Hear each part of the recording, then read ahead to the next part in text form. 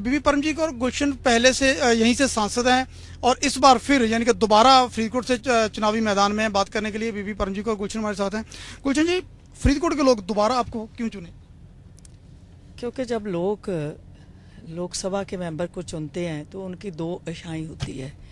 पहली होती है कि जो भी उनका नुमाइंदा जाता है क्या वो लोकसभा में उनकी बात करता है उनके मुद्दे और आप उस उस स्टेट के मुद्दे वो लोकसभा में कहता है। जो भी मेरे इलाके के मुद्दे थे वो मैंने उठाए। और दूसरा लो, लोकसभा से के मेंबर्स लोग लोगों के जो आश, आस होती है कि जो पाँच साल में ग्रांट मिलती है एमपी फंड मिलता है डेवलपमेंट फंड मिलता है वो सभी का सभी पूरे का पूरा खर्च किया जाए। मैंने एक एक गाँव में अपना जो फंड है एमपी फंड है वो दिया है। तो बेशक आप भी मौजूदा सांसद हैं लेकिन आपके जो खिलाफ खड़े हैं कांग्रेस की तरफ़ से जोगिंदर सिंह वो भी दूसरी बार यहाँ से जैतून से विधायक चुने गए हैं। क्या लगता है उनसे मुकाबला कैसा रहेगा? मैं समझती हूँ कि उनसे मेरा कोई मुकाबला नहीं है। अगर तो मैं अपनी बात करूँ क्योंकि जब लोग वोट देते हैं तो वो कैंडिडेट का कंपेयर करते हैं।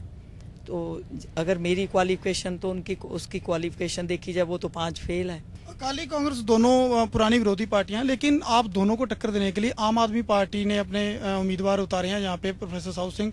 क्या लगता है, आम आदमी पार्टी किसको फ़ायदा करेगी, किसको नुकसान?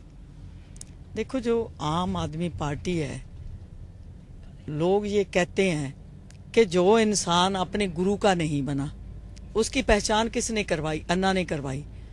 तो लोग ये कहते हैं कि जो लोग अपने गुरु को नहीं मान रहे गुरु को अम, अम, करे अ, वो धोखा देकर आ गए तो वो लोगों के क्या बन सकते हैं? ज़्यादा पंजाब में इनका असर नहीं है और अगर वो नुकसान करेंगे तो कांग्रेस का ही करेंगे।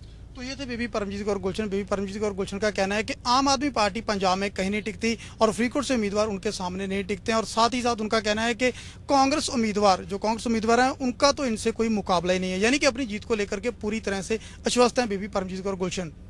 कैमरामैन ललित पांडे के साथ नृपिंदर Singh broad ABP news Faridkot